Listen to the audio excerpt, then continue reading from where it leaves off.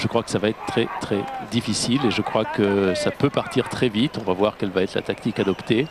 Alors on ne sait pas trop ce qu'il faut qu'il fasse, euh, Bob. Bob. Il, y a, deux solutions. Hein, où il laisse partir et puis il essaie d'espérer que certains... Oh là là, la rivière est remplie Bernard. Oui, elle a rarement été remplie Elle déborde comme la rivière. Hein. C'est-à-dire que là, de toute façon, vous aurez les pieds mouillés, quoi que vous fassiez. Donc où, il attend, où il suit en train d'en faire, on va voir, ça risque de courir par, par, à coup. Oh là là, c'est parti vite en tout cas, c'est parti très vite, on a l'impression que c'est un 800, pas du tout, c'est un 3000. il faut se, dégager, faut se dégager un petit peu, bon, des Espagnols aussi, Luis Miguel Martin bien sûr. C'est pas lui faire injure comme pas l'avoir cité au départ. Il passe devant pour ralentir.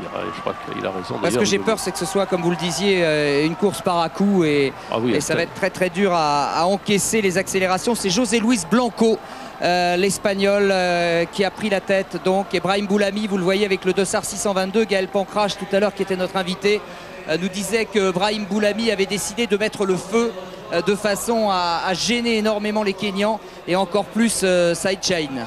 Oui, on peut penser que cela va aussi le, gêner lui, hein, parce que je ne vois pas comment on peut, les, on peut les gêner. Ils aiment courir par changement de, de, rythme, c'est leur nature. Le voit, il a hein, il a le petit 5 sur le, sur, le, sur, sur, sur la cuisse. Hein. Vous l'avez mis en embuscade, hein. voilà, exactement. Et avec le, voilà, hein, et avec le dossard 561, n'est-ce pas? Non, c'est pas Koch, c'est l'autre, c'est l'autre. Vous remarquerez, vous remarquerez lorsque vous verrez euh, Bouabdel qu'il court avec un, un liseré noir euh, sur son maillot. Euh, bien sûr en, hommage à, Colette Besson qui, qui nous a quittés euh, aujourd'hui et je sais que que toute l'équipe de France a été euh, très très touchée. Vous euh, également, Christine. Hein, euh, je veux dire, j'ai lu vos. Oh là là, faute Une chute. J'ai lu vos déclarations. Vous étiez, vous avez été très très touché par la disparition de, Colette. Hein. Colette était souvent, très souvent sur les stades avec nous lors des grands championnats. Elle était toujours présente. Enfin, moi, elle a eu l'occasion souvent de m'encourager quand ça a bien marché, quand ça marchait moins bien. Et c'est vrai que c'est euh, une grande figure de l'athlétisme qu'on a, a perdu aujourd'hui. Et puis euh, euh, toute l'équipe de France, en tout cas, se joint à moi pour adresser toutes les condoléances à la famille, à qui on pense vraiment très fort. on pense beaucoup à, Stéphanie, à Sandrine et, à Jean-Paul. Retour Bernard sur ce 3000 mètres steep, il a failli avoir une chute mais tout est rentré dans l'ordre. Hein. Oui, oui, on attendra le passage au 1000 mètres pour avoir une, idée un petit peu plus exacte. Alors pour ceux qui ne le connaissent pas bien sûr, ben, Bob Tari c'est le plus grand, il est en bleu. Euh, sagement euh, calé en fin, de, en fin de peloton. Ce n'est pas parti très très vite, euh, je pense. Il faut faire attention aux chutes. C'est compliqué de prendre son, impulsion lorsque vous voyez, voyez mal l'obstacle parce que vous avez du monde devant vous, donc vous êtes obligé de vous décaler. Donc peut-être que les positions devant ne sont pas plus mauvaises non plus, mais en tout cas on va dire que cela n'est pas encore n'est pas encore parti. Voilà, tous les photographes, ont choisi la rivière, ça on comprend évidemment surtout avec l'orage qui vient de dépasser Helsinki. Il y a toujours des, photos sympas à faire. Euh, Blanco, l'Espagnol en tête avec le dossard 40. Attention à Günther Weidlinger.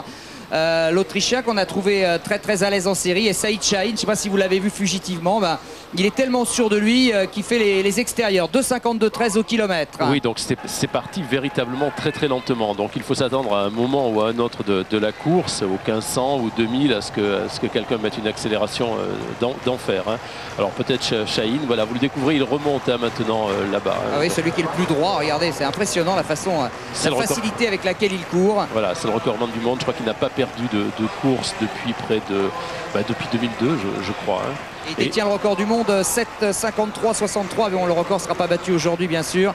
Mais ça veut dire qu'il a Bernard une réserve d'accélération qui est absolument considérable. Et une réserve foncière qui est tout aussi considérable puisqu'il vaut 12,48 sur 5000 mètres. Souvenez-vous il avait battu Hicham El Rouge à, à Rome sur cette distance il y a deux ans. Blanco qui en met une petite couche avec derrière lui Weidlinger.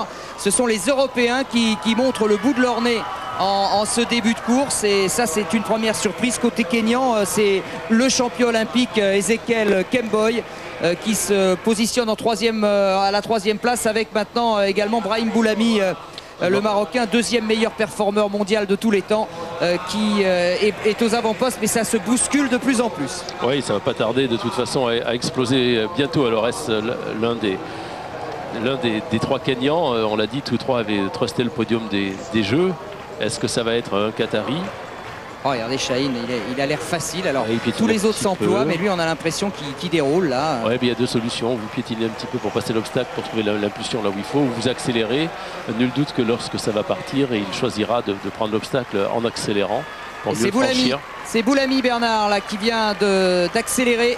Oui, il peut. Hein. Bon, il n'est plus euh, aussi fort qu'il l'a été lorsqu'il a eu le, record du monde avant sa suspension. Il faut aussi le, rappeler, bien sûr. Hein. Suspension dedans. Voilà, regardez, on va profiter de la rivière. Voilà, et profite de la rivière. C'est judicieux, c'est intelligent pour partir essayer de faire un trou. Là, il faut que. Oh là là, surtout... qui a encore été tassé un peu dans le peloton. Voilà, il faudrait peut-être que maintenant il puisse commencer. On va, on va bientôt aborder le, dernier kilomètre. Peut-être ne pas se laisser enfermer, surtout à ce rythme-là, et aller vers, vers l'extérieur. Vous savez qu'il a fait des bons trucs sur 1500 cette année aussi, euh, Bob c'est peut-être pas si mal que ça finalement cette course pour lui. moi ce que j'ai peur c'est qu'il est enfermé là. Il est vraiment euh, dans la boîte là. Faut pas rester là parce que ça va quand ça va partir, ça va partir. C'est pas le bon plan là. C'est des plans à prendre des coups de pointe, à prendre des coups de coude. Euh, Je pense devant Boulami toujours. Oui, vu, le nombre de, coureurs de 3000 types de qualité, je pense pas que ça ne parte uniquement dans le dernier tour. Hein. Ça va être à l'emballage tout ça. Oui, parce que ça n'a pas, pas véritablement accéléré. Hein. On va passer aux 2000 mètres bientôt, toujours Boulami en, tête. Le Kenyan, euh, le maillot rouge, c'est Kipruto. Voilà, Shaheen est complètement à ses côtés. Hein. On va regarder, voilà, 5,40. Hein. C'est vous dire, on est sur les bases de 8,30 là. Donc ça va pas tarder à partir. Mais Bob Tari disait d'ailleurs, euh, dans l'idéal, euh, j'aimerais bien que ça se court aux alentours de, 8,15, 8,20. il est, bah, il est quasiment exaucé là. Voilà, ce qu'il faut, c'est être présent. je sais pas, je suis un petit peu, un petit peu confiant, j'ose espérer. S'il a récupéré euh, de, sa série, euh, alors tout est possible parce que c'est effectivement un, tempo qui lui convient à Bob. Oui, n'oublions pas qu'il est recordman d'Europe, co-recordman d'Europe d'ailleurs avec euh, Simon Bromen qui est Bromen qui est là, hein, qui a le maillot orange, on le voit le grand là, avec le maillot orange, le néerlandais. Saïd Chahine qui est passé quasiment euh, à égalité maintenant avec Brahim Boulami, euh, c'est le duel annoncé. Chahine qui se permet de se retourner, c'est extraordinaire. Hein. Oui, il fait souvent, il est un petit peu, un petit peu arrogant parfois comme, cela. Il y a aussi Amer hein, qui est quatrième, le Qatari ex-Kenyan qui était quatrième au jeu. Il y a les quatre premiers des jeux, cherchez pas de toute façon. Là, ça s'accélère. Là, ça accélère. Allez, Bob, faut, faut t'accrocher là, peut-être prendre la corde, mais c'est maintenant là. Je sais que ça va vite, mais. C'est maintenant que ça se joue. c'est maintenant que ça se joue. Boulami, euh, Saïd Chahine. Derrière, donc, c'est toujours Ezekiel Kembol, le champion olympique. Et Bob Tari est toujours dans le, dans le bon wagon. Bob, il faut s'accrocher. Oui, c'est vrai que l'accélération est, très très violente et elle arrive sur une fatigue et sur un train. Oh, là là, oh, là là, oh là là, attention la rivière qui est passée à une vitesse phénoménale. On met, met même plus le pied dessus, hein, Patrick. Il, met, le, ne met plus le pied dessus pour euh, avaler l'obstacle un petit peu plus vite et, faire la différence. Et eh, Boulami s'accroche. Hein. Boulami a l'air facile, hein. Boulami a l'air facile derrière Saïd Chahine et Ezekiel Kemboy, les deux meilleurs coureurs du monde, le champion olympique et celui qui n'a pas pu courir les, Jeux olympiques parce qu'il n'avait pas le droit euh, en attente de naturalisation. Regardez l'accélération de Saïd Chahine en deuxième position, Ezekiel Kemboy, troisième Boulami. On a le podium maintenant, mais c'est peut-être pas terminé. Boulami a l'air très très fort, il a l'air costaud le Marocain. Oui, c'est la surprise hein, sur ce style de course. Regardez comme il est bien, Bernard. Oui, il est bien. Bon, on se rappellera qu'avant sa suspension, il a été recordman du monde et qu'il a du talent aussi, bien sûr. Il peine un petit peu à côté euh, Kemboy, le champion Kemboy est en train de, souffrir, regardez. Et, et qui euh, est en train maintenant de construire sa victoire là, en tout cas d'en remettre encore une couche. Alors que derrière, eh bien, le meilleur européen pour l'instant c'est Simone Vremen en sixième position. Mais que ça va vite devant, que ça va vite dernière rivière. Ouais, Camboy est bien aussi derrière. Il est un petit, peu plus, un petit peu plus crispé, bien sûr. Il serre les dents. Et personne ne battra euh, Saïd Chahine qui va offrir, comme prévu, au Qatar, sa nouvelle patrie, une victoire phénoménale. Phénoménale, Saïd Chahine. Regardez, il termine complètement relâché, complètement relax. Il a écrasé la, course alors que Boulami va perdre la médaille de bronze. Oui, Boulami a perdu la médaille de bronze. Deuxième, euh, deuxième euh, Kemboy et je pense, je pense la troisième place euh, pour Kipruto, mais je n'en suis pas sûr. Pour, pour l'histoire quand même, 2,32 au dernier kilomètre en partant réellement à 800 mètres de l'arrivée et avec les rivières, les obstacles. Et, Bob termine huitième je crois, c'est-à-dire finaliste ce qui est vraiment très très bien dans un contexte aussi relevé alors que votre ami Taher euh, lui a complètement explosé. Je ne sais pas ce qui lui est arrivé. Oh, il, termine loin derrière. Il, n'a que 16 ans. Alors, on peut comprendre. Vous inquiétez pas. On peut comprendre. En tout cas, bravo, chapeau Bob. Bob Tari a fait vraiment une très très belle course, Stéphane, mais eh, il ne pouvait pas faire grand chose d'autre. Hein. C'était vraiment euh, la course de tous les phénomènes là. Oui, c'était une course euh, assez bizarre, des bases, euh, des bases pas très, pas très élevées. Alors c'est vrai que c'est mieux que si ça se court en 7,50, mais aussi quand ça accélère, ça accélère 2,30 au kilo. Il faut pouvoir suivre le rythme. Et à ce jeu-là, bah, il n'a pas pu combler le trou quand, c'est parti. Ça s'est effiloché, on l'a vu. Et bon, il, il, rentre en finale hein, une fois de plus pour Bob, mais je sais que c'était pas son objectif, donc il doit être forcément, forcément un peu déçu. On le voit là, et désabusé de, de- de la forme de course. euh.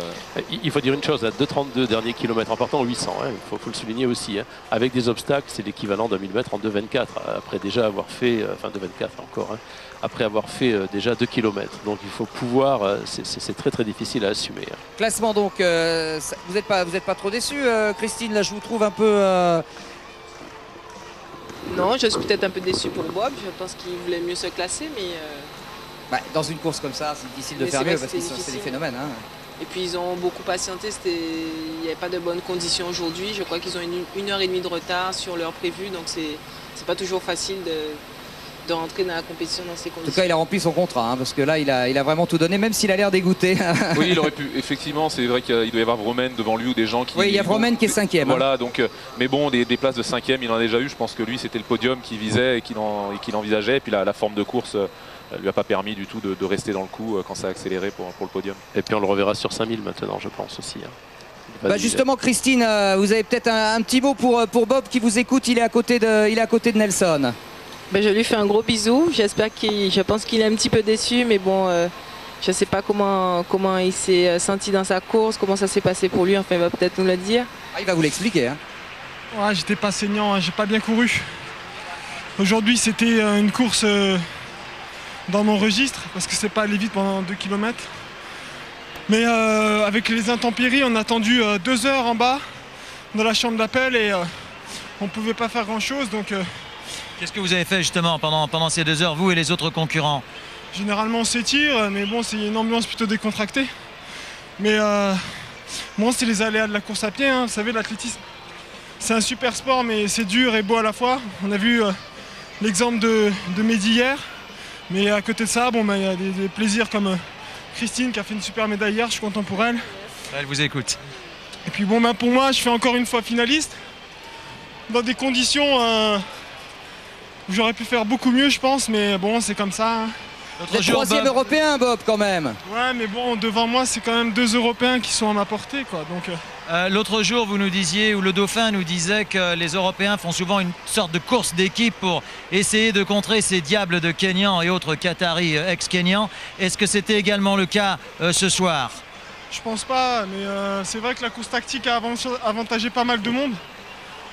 Et normalement, moi le premier, mais aujourd'hui, j'ai pas eu les bonnes jambes. Et puis, bon, bah, c'est comme ça, c'est la clé.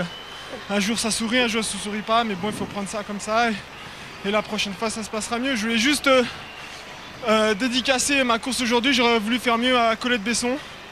Et euh, je voudrais euh, passer mes sincères condoléances à toute sa famille. Voilà, ainsi à moi et que toute l'équipe de France. Merci beaucoup, Bob. Il n'y a rien à ajouter. Merci beaucoup, cher Bob. Merci Tarek. Bob. Voilà, ça c'est c'est cette équipe de France.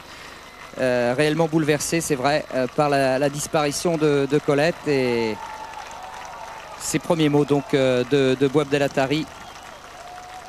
Huitième de ce 3000 mètres steeple remporté donc par euh, Saif Shaheen, le Qatari, devant Kemboy le Kenyan et Kipruto euh, l'autre Kenyan. Brahim Boulami, peut-être un petit mot avec euh, le champion olympique euh, Ezekiel Kemboy. Ezekiel Kemboy qui est ici, qui est tellement fier de son pays. Regardez, il est en train d'étendre le drapeau du Kenya. I guess that, uh, oui, c'est Carol Lewis qui tient le drapeau du Kenya. A great pride for your country once again, Ezekiel, in this race, the 3000 steeple that is really your race and your country's race. Une grande fierté pour votre pays dans une course qui est vraiment celle de votre pays. I think this race has been so tight. Uh, as you know, this year we got so many. Uh, La course a été extraordinairement serrée. I've got so many um, uh, pressure from my government Kenya, Ah. from my people, from my uh, fans. So Alors, euh, vous savez, Patrick, ça va confirmer ce que vous disiez l'autre jour. Vous savez, sur la redoutable concurrence qui existe au Kenya, j'avais énormément de pression de mon gouvernement euh, du Kenya pour bien faire ici. Et I think they're going to be happy and, proud and, and proud tonight. Je pense que votre gouvernement sera fier et heureux de votre médaille d'argent ce soir. I think it's they are going to be happy because I both have got the, the silver medal again, like in Paris. Oui, alors je crois qu'ils seront effectivement heureux puisque je remporte de nouveau la médaille d'argent. Comme à Paris, on signera qu'entre-temps, il y a eu quand même la médaille d'or à Athènes. Thank you, Ezekiel. and Thank you, my friend. Thank you. Ah oui, c'est vrai que c'est exactement la même arrivée qu'à Paris. Euh, Saïd Chahine euh, du Qatar, euh, deuxième titre de champion du monde, euh, facile, très facile. Et Ezekiel Kemboy, deuxième comme, euh, comme à Paris.